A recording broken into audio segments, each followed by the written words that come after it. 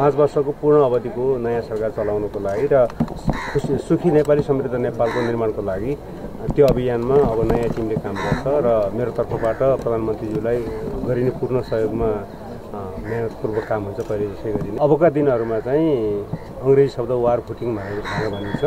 युद्ध स्तरमा चाहिँ काम अगाडि जान्छ र समृद्ध नेपाल नेपाल र सुखी नेपालीको लागि अब कुनै कसर बाँकी नराखिकन काम हुन्छ।